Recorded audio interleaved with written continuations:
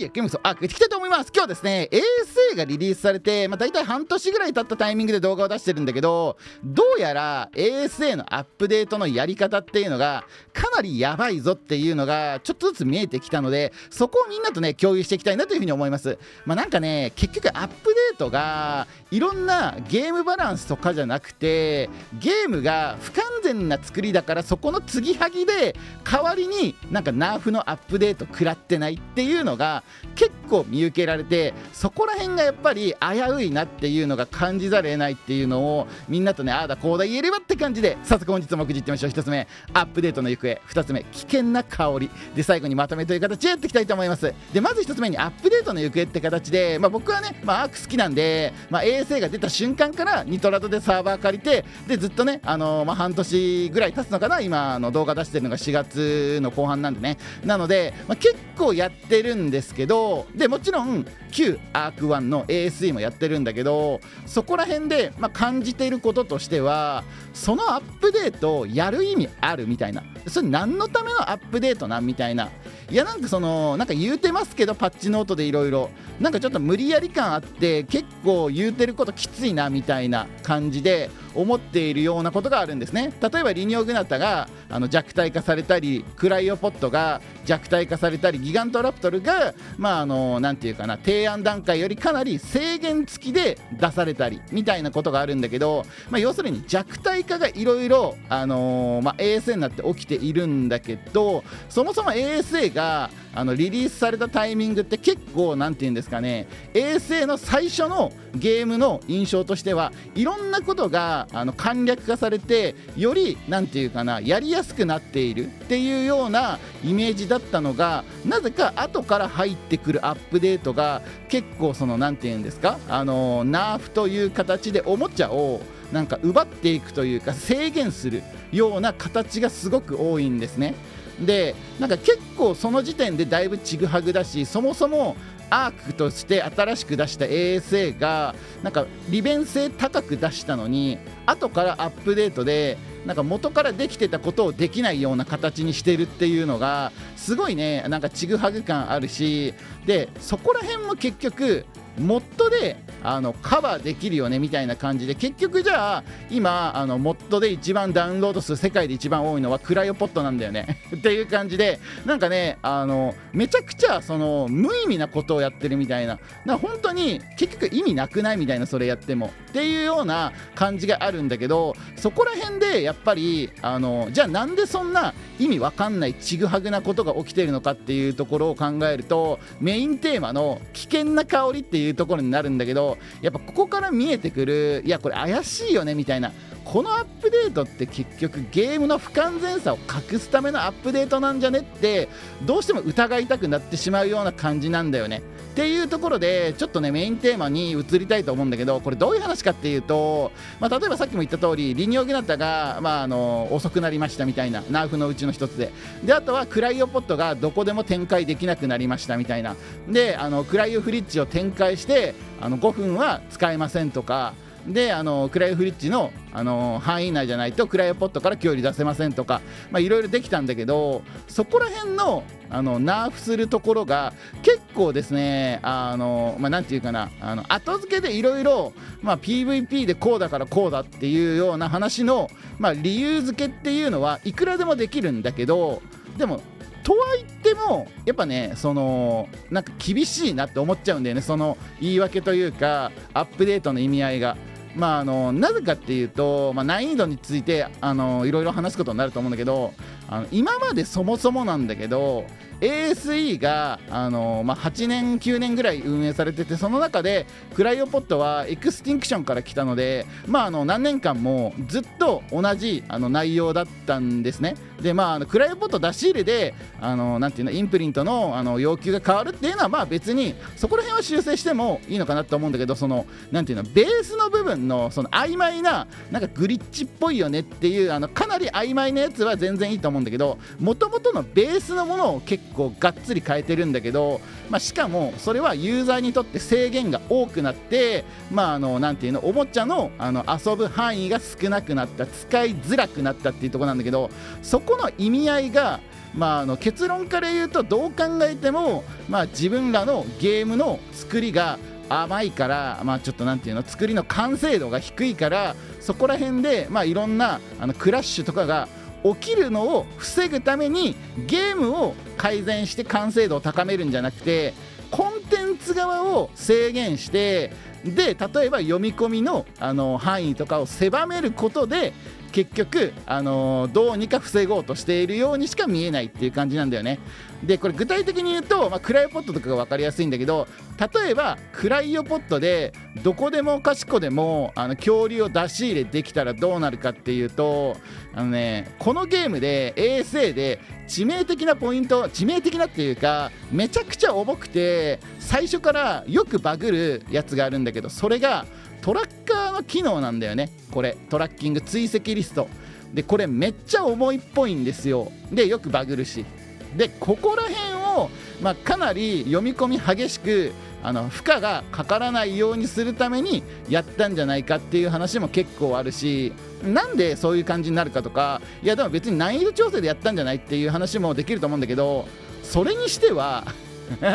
あのなんかちょっとねあの微妙なんだよね。っていうのも、まあ、やっぱりさっきも言ったんだけど結局今あのモッドで一番あのダウンロード数が多いの世界で一番多いのはなんか400何十万ダウンロードされてるクライオポットのあのモッドなんですよ。っていう形で結局あのプレステもあのもっと入れれるようになって全てのプラットフォームがもっと入れれるようになった前提でで、まあ、公式サーバーは公式のやつしか使えないからあれなんだけどただ、まあ、公式サーバー非公式サーバーオフラインのローカルプレイって、まあ、人口比率で考えた時に、まあ、公式サーバーが67割っていうのは全然なくてなのでそこら辺を考えると結局何て言うかな大多数が自由に選べる立場であるのに結局その何て言うのあの弱体化したとてしたとてあんま意味ないよねっていう感じであったりするしでそこに対する明確な考えとかを話してないのね。いやこういうので ASE の頃のデータがあって ASE の頃こういういっぱい公式サーバーでいろんなみんなの行動をしているパターンがあるから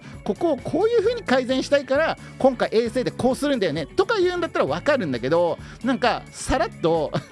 すげえ弱体化してて え？みたいな感じでさらっと言ってこんな感じでやるわ。うんじゃあよろしくってさってあの終わりみたいな感じなんだよね紹介が。なので、まあ、結構ねあの曖昧なやり方でふわって出すしその割にはめちゃくちゃ大きく変わってるからしかも弱体化。でゲームで弱体化するって相当リスクがあると俺思ってて、まあ、もちろんねそのナーフっていうのは批判されやすいけどナーフは俺は別にゲームを何て言うの存続させるためには絶対必要だと思うんだよね、まあ、例えば人間でもさ糖分取りすぎたら糖尿病になるとかさ単純な話あるじゃん。めちゃくちゃデブ活しまくってたらそりゃ糖尿病になるよね。痛風になるよねみたいな。っていうのは分かるからそこで控えようねっていう意味でのナーフ。人間の糖分をナーフするみたいな。痛風にならないためにみたいなのはそういうのさあのあるじゃん。まあいろいろざっくりと言うとそういった形でナーフっていうのは時には必要だっていうのはゲームの中でもね理解してるんだけど、まあ、なんだけど今やってることって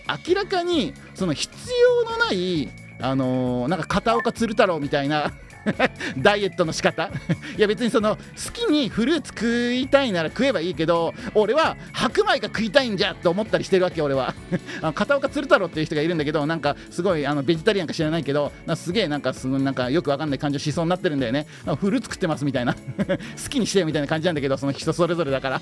なんだけどそれをあの100%の全体に対して投下してるみたいな。ベジタリアンとかビーガンとかなんか LGBT のマイノリティみたいなものは別にあってもいいと思うよ。好きにしてないよって思うけどそれを全体にボンってベースとして適用するのは違くないっていう感じに思ったりもするので、まあ、そこら辺でねちょっと制限を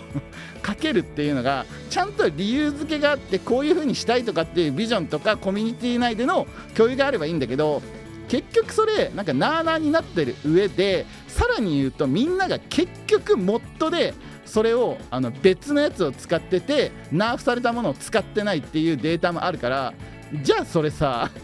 何の意味があるのみたいな感じで。で結局そうなってくると公式サーバーとかを軽くするための,、まあ、なんかあの理由とかあとはコンシューマー版は性能を変えられないからみんなプレステ5はさ同じ性能じゃん。なのでそこに向けてできるだけクラッシュしないようにとかできるだけ問題を減らすために負荷を減らすためにやるしかないよねみたいな感じでトラッキング機能をかなり低下させるために、読み込みの頻度とかあの強さとかを低くするためにやったんじゃないんですかねっていうふうに思ったりもするしで例えばリニオグナタも移動速度を落とすのって結局、まあ、昔で言うとあのあれだよねマナガルムの移動速度下がったやつとかもあの速すぎてクラッシュするとかメッシュするとかっていうあの報告が相次いだからオンラインでからやったみたいな感じでゲーム側をちゃんと読み込みするようにするんじゃなくてもうちょっと早すぎるから遅くしちゃうみたいな感じで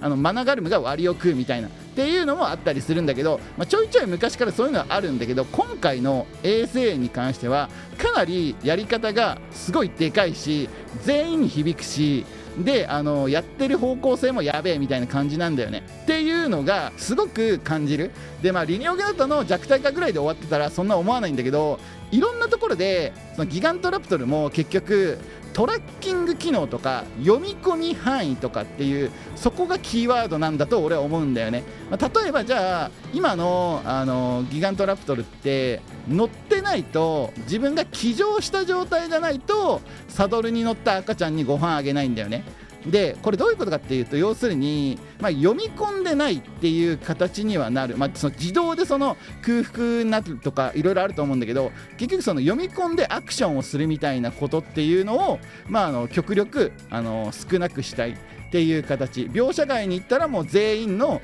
その他他の大勢の恐竜と同じ扱いにしたい。ただもしそこで餌を食うみたいなギミックが発生した場合は、まあ、結構ねあの面倒くさくなるからそこで、まあ、あのいらない、まあ、いらないわけじゃないんだけど、まあ、余計プラスアルファの読み込みとかをできるだけ少なくしようねみたいなっていう方向性なのかなって思っちゃうしそれ以外にあんまり理由が考えられないっていうかじゃあ他にその何のためにそれやってんのみたいなめちゃくちゃ制限ついてるんだけどギガントラプトル元の性能からみたいなっていう風に思っちゃうんだよね。でまあ別にそのなんていうの？あのー、他のさ追加恐竜っていうか恐竜選挙で ASE ではいくらでもいろんな追加してきたけどそもそもさギガントラプトルさラグナロクに出る恐竜じゃん？あのメインの元の話はねもう今アイランドにいきなり出ちゃったけど 元の話はラグナロクじゃん。だからラグナロクベースで考えると別にそんなに制限しなくても良くないやりたい放題の、あのカスタムマップだしって思うんだけど、まあ、そこら辺とかも結局なんかよく分かんないんだよね。何がしたいのかよく分かんないっていう感じ。だから結局まあそれって制限かけたいだけなんじゃないっていう風に思っちゃったりする。まああの公式サーバーとかで軽くしたいだけなんじゃないっていう風に思ったりもする。これ結局軽くするっていうことはあのサーバーの出力を増やさなくて済むってことだからこれ結論金が結構安くて済む。要するに強い PC じゃなくて済むんだよね。負荷を下げれば下げるほど。っていうような感じ。もともと負荷がめちゃくちゃ高くてニトラドのサーバーがいつも悲鳴上げてて多分想定以上にお金を食ってるんだと思うんだよね。結局あのニトラドっていうサーバー会社にサーバーを借りて公式サーバー運営してるんだけどああいうところの,、まあ、あの G ポータルとかニトラドであの非公式サーバー借りた人は分かると思うんだけど要するにどんだけスペックがサーバーのスペックが高いかで金額が上がり下がりするんですよ。なので、まあ、そういったところも関係あるのかなと思ったりもするし結局ね、まああのー、さっきも最初も言ったんだけどいろいろ、あの、後からあの言い訳はできるんだけど理由付けはいくらでも、まあ、なんかそのできるんだけどでも結局モッドで、あのー、なんていうの400万人がクライオポット別の使ってるしみたいな。でなんか結局そういったモッドでいろいろ後から自分らで好きにできるしでそもそも最初 ASA 出た時は利便性の方向にみんな向いてたやんみたいないろんなシステムが。不便になったりナーフしたとこってほぼなかったと思うんだよね。なのでそこら辺を考えるとなんで急にその後から追加されるコンテンツだけそんな制限がかかりまくってる感じなの？っていう風に思ったりもするしそれ結局あのなて言うかなおもちゃがあのなていうの遊ぶ幅とかが少ないわけだから楽しくないって感じになっちゃうんだよね。感じちゃったりするんだよね。昔の方が良かったわみたいな感じで思っちゃったりするんだよね、まあ、要するにキットカットがあのなていうの数年前のキットカットと今のキットカットってサイズが小さいんだよね。っていうさそういったあとはセブンイレブンの底上げ弁当とかさ そなんていうの結局ナーフってそういうことだから気悪いじゃん。なあみたいな感じになるじゃん。お金出してんのにみたいな。っていうところもあるからそこら辺にはちゃんとあの理由付けも必要だしコミュニティとの交流っていうのはやっぱりアークとしてはちっちゃい会社でスタートしてアークがあのバーンってあの爆発的にあの売れてそこでねあのなんか一人前みたいな感じで仲間入りしたからベンチャーからね。なので、まあ、そこら辺を考えると、まあ、しっかりコミュニティを、まあ、コミュニティマネージャーっていう役職があるぐらいちゃんとやってるから、まあ、そこら辺はどういった理由でこういう風なあの目的でやりましたっていう話が必要なんだよね。まあ、結局さ、まあ、いろんな話があるんだけど、まあ、なんていうかな A3 の頃もそれっぽい話はあったっちゃあったけど、まあ、その都度、まあ、あのなんていうんだろうなあのやっていたその範囲はちっちゃかったんだよね。もうさっきも言ったけどそのマナガルムの速度を落とすとかリニョグナタの速度を落とすとかその影響範囲が少ない中でやっててまあ確かにあいつ速すぎたしなみたいなアストロデルフィス強すぎたしなみたいなのでまああの何て言うんだろうなあまりにやりすぎてたからナーフっていうのは多かったけどもともとあるベースのものをなんか少なくする本当になんかヴィーガンみたいに急になんかもう肉食わんわみたいな感じの、まあ、明日からステーキ禁止ねみたいなっていう感じのなんていうかなその結構もともとベーシックな普通の中央値だったものをそれ以下に下げるみたいなっていうのが多いっていうのがやっぱりね、あのー、やり方としてはやばいなっていうふうに思うしそれが結構ずっと続いてる。しで、まあ、まともな説明はないしで、あのここら辺のナーフに共通している事柄っていうのが読み込みの部分で、まあ、あの軽くするためのあの意味合い以外にあんまり理由が見当たらないみたいな感じ。にその難易度がどうこうってまあ言える部分はあると思うんだけど結局それモッドでみんなが大多数の人がいろんな多くの人が別のものを使ってるからなんかその意味わかんないって感じなんだよね。なんかそのやってることと言ってることがなんかそうするとなんていうかな整合性があんま取れないから、まあ、元から別に整合性取れないんだけど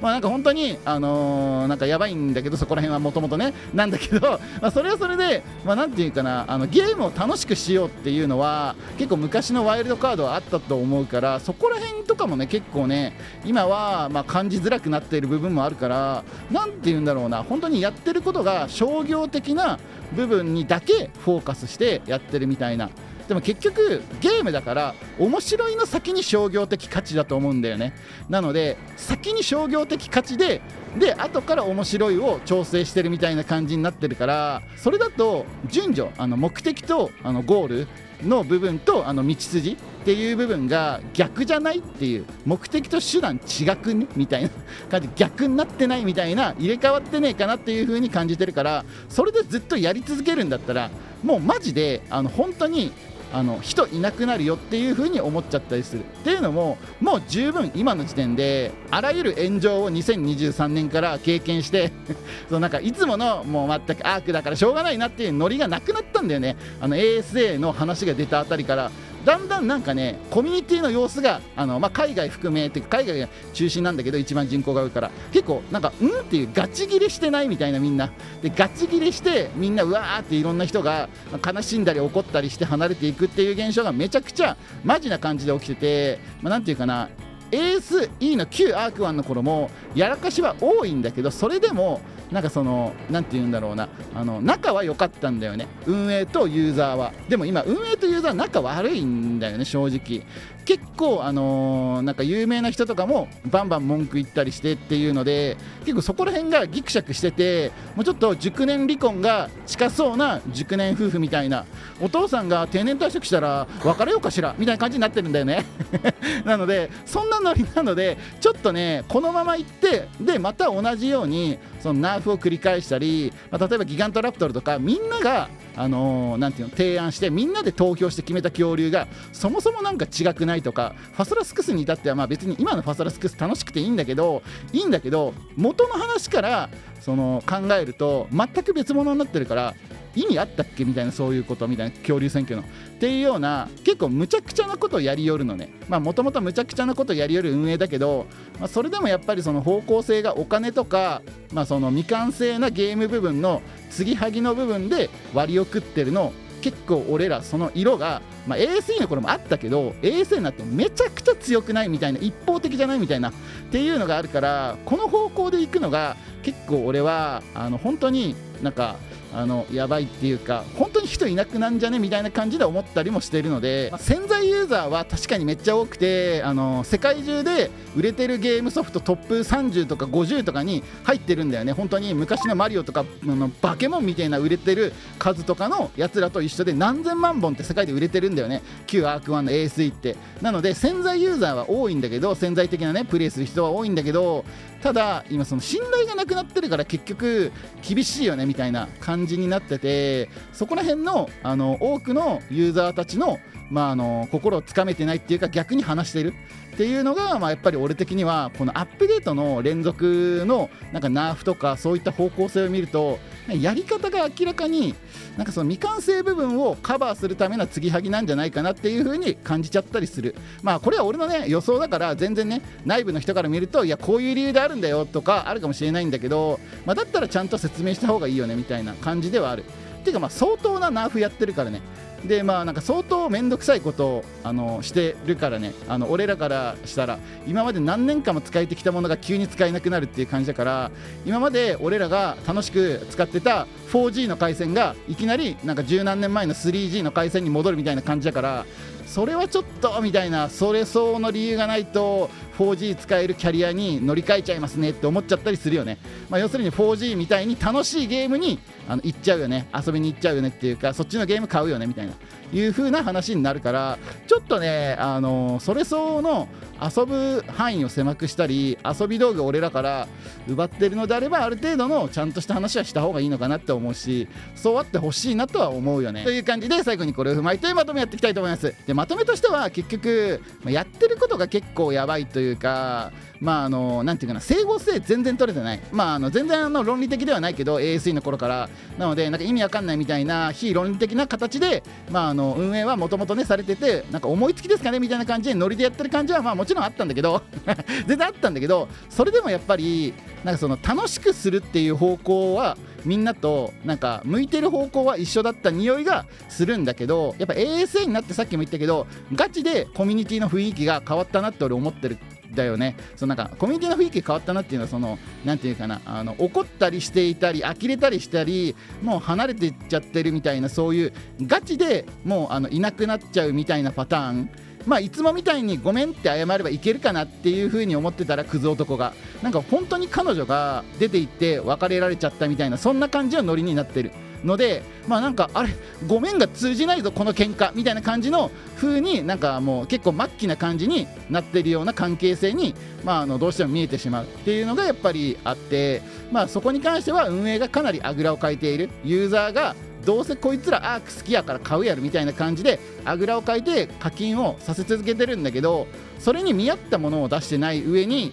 俺らの遊び道具要するに恐竜とかクライオポットとかそういったゲームコンテンツを制限をどんどんどんどん増やしていくような形面倒くささ時間をどんどんどんどん引き伸ばすみたいな形が多いみたいなそれって結局そのユーザーを消費してるみたいな感じになっててそれ相応の何て言うかなサービスとして成り立ってるんだったらいいんだけど結構その俺らの優しさ依存してる。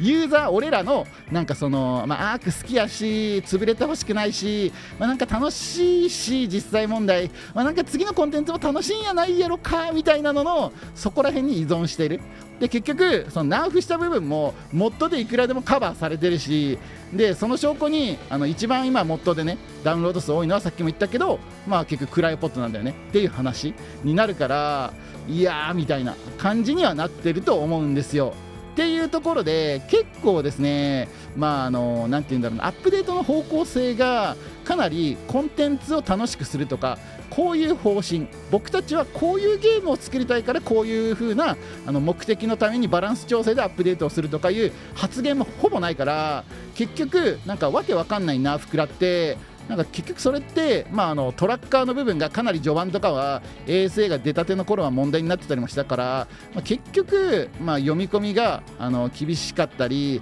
サーバーの負荷を下げてサーバー代下げようとかそこら辺の話になってくるのかなとかいうふうに思っちゃったりもするのでその、ね、あの整合性があの今まで以上に取れてないっていうのがかなり怪しくてなんか方向性はでもあの全体を見ると分かっちゃうみたいな。結局なんかナーフによって俺らが制限されることでゲームを軽くしようというかまあなんかその何て言うんですかトラッキングとかヤバめな機能をまあどうにかまああのうやむやにしようみたいな感じになってるんじゃないかなっていうね風な匂いがしちゃってる。かなり弱体化とか制限とかっていうのがキーワードになってるのが最近だなってすごく思ってる。あとはあの滞在時間を引き延ばすような形。めんどくさくて時間を多く使わざるを得ないみたいな感じ。の方向にかなり向いてるなっていうのはやっぱりいろんなねあのアップデートをあの見てるんだけど感じちゃうそういう方向性になってるなみたいな、まあ、別にそれが悪いとは言わないんだけどで、まあ、これに関してはもっと手前の話があっての何、あのー、て言うかな論点だから例えばギガントラプトルは恐竜選挙でみんなが選んでみんなが投票してみんなが面白いと思った形があってそれに近づければいいけどそれを逆に弱体化してたくさんの制限をつけたみたいな。形の話はちょっとなんか違うよなと思ったりもするしなんなら ASE の頃そういうことってほぼしてこなかったんだよね。なんかむしろなんかシノマとかデスモとかまああれはやりすぎだけどいやそれすら実装するんかいってなってたんだけどまあなんかさすがにそれはやりすぎだからあれなんだけどそこまでやれとは言ってないんだけどただもともとの提案段階でいいよねっていう話だったものに対して制限を多くつけてるから結局それなんかもともとのものじゃなくないっていう話になったりとかでリニオグナトとかクライオポットの弱体化もなんか急に何年間も同じことをやってたのに急にやり方というかあの形を変えたりとか制限したりナーフしたりっていうのがしてるからその理由が意味わかんないんだよね。まああの結局それもあの、まあ、何回も言うんだけどモッドで解決できてみんなが実際にモッド使ってるしみたいな。なのでなんかね本当にやってることがちぐはぐでだから論理性がないというか整合性がない。で唯一ある整合性は整合性というか一貫性というかあのどの道のりに沿ってるかっていうとナーフするっていう形。ナーフしてそれによって処理を少しでも軽くするみたいなのは確かに言われてみればあるんだけどそれ以外がよく分かんないんだよね共通点とかが。っていうのがあるから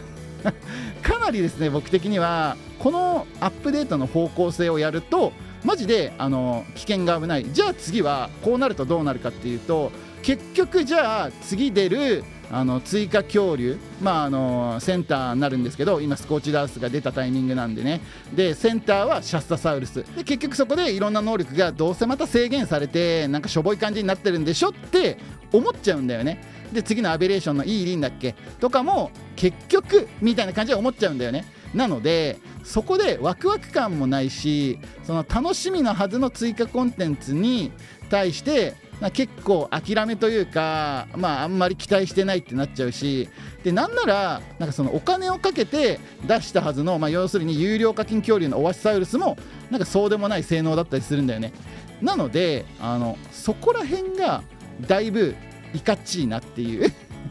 そのなんて言うんだろうな。お金に対して見合ったものを出してないというかまあなんかね結局やってることがかなりあの自分らが儲ければ何でもいいかなぐらいな感じになってるようにしか感じないし実際にあのアーク2をこれ以上開発し続けるのは体力がないお金がないから衛星を売って一時的なあの資金回収をしますっていう話はまああのゲロってるので そこら辺で、まあ、そういう匂いはあってもしょうがないと思うんだけど全然アーク2のためとかアークその君のためなら俺はアークが好きだから金は出すんだけどやってることがやばいんだよね。その、うん、やばいんです。じゃあやんなくていいじゃん。そんな変な制限とかって思っちゃったりもするし。まあそしたらまあ結局あのサーバー負荷が重くなってそれを解決するためにサーバー費を高くしてサーバーを強くしないといけないからみたいな。で公式サーバーすごい数あるからそこの数のあの埋め合わせをするためには総合的にすっごいお金がまたかかるからじゃあとりあえずサーバーコストを下げるためにナフしようみたいな感じで邪推されちゃうんだよね。これは知らんよ。本当かどうか知らないけど結局結論楽しくあるべきゲームが楽しくないと思ってしまう部分がなんかまたこれつまんないみたいな感じで思ってしまう部分が出てきてしまっているのが結構その状態化しているっていうのが俺は良くないなというふうに思ってるのでもっとなんか ASE の頃の新恐竜追加とかは楽しかったしで追加された後はもっとなんかワクワクしていろいろ追求してたしこの恐竜こうだねとかああだねとかいう風な感じもあったのでそこら辺がねちょっとなかなかねあの厳しい現状かなみたいなオアシとかファソラも別になんか、まあ、そこまで深掘りしてもなんかあれかなみたいな感じでむしろバグの部分で深掘りとかちょっと面倒くさい部分で深掘りしてみんなとそこを効率よくしようみたいな感じになっちゃったりするから、まあ、結構本末転倒みたいな 感じになってるので、ぜひねこの辺はみんなの意見も聞かせてほしいなっていうかあのぜひコメントいただければ嬉しいなって感じで、まあ、これは俺の考えなんでね俺は基本的にはアークが好きでアークが続いてほしいしアーク2もやりたいんだけど今やってることが結局 ASE で貯めた貯金、まあ、信頼とかあとはみんながワクワクする心をあの犠牲にしてその貯金を切り崩して ASA が生き延びててっていうね状況だからそれが良くないよねっていうふうに思ってるのでこのままのスタイルのアップデートっていつかもうあの先細りしてってもう人が本当に採算が取れないもう赤字にしかならんようなユーザー数に落ち込んでいくんじゃないかなっていうふうにはねもう思っちゃったりするので、まあ、ちょっとねここら辺はまああのそろそろ楽しい感じに方向転換してほしいなと。DLC も売ったし ASA も売ったしそろそろコンテンツ重視に切り替えてはいかがかなっていうので今日はねこの辺にしておきたいと思います。ぜひ皆さんの意見も聞かせてください。俺はねアークが楽しくあるとは思ってます。常に。はい。いや ASE の頃の最初のワクワク感とか ASE の時の、まあ、別に後半のマップとか前半のマップとか関係なく追加マップ追加距離は本当に楽しかったから。いやなんかその時のワクワク感があんまり最近ないからちょっとねあのネガティブな話先行でちょっと悲しいなとは思ったりしてるかな。そんな感じでね今日はちょっとね ASA のアップデートが結局やばくねみたいな感じが拭いきれないからこれずっと俺最初から思ってたりちょいちょい言ってたりしてたんだけどやっぱりクライオポットのあの元のダウンロード数とか見てもやっぱりそうちぐはぐしてるような意味ないよなみたいな結局ここでみんな使ってるからなんかうーんって思ったりもするからそれ何がしたいのみたいな。感じのが多すぎてつまんない方向に何がしたいのを増やしてるから、まあ、ぜひねみんなもねあのー、なんかいろいろ意見とかくれれば嬉しいなって感じで今日はこんなにしていきたいと思います。で KTR ゲームではこんな感じでですねアークの動画 ASE の頃からね作ってますのでぜひ皆さんチャンネル登録高評価で応援していければ幸いです。そんな感じで今日はこんなにしていきたいと思います。それでは本日もご視聴ありがとうございました。またぜひ次の動画でお会いしましょう。バイバイ。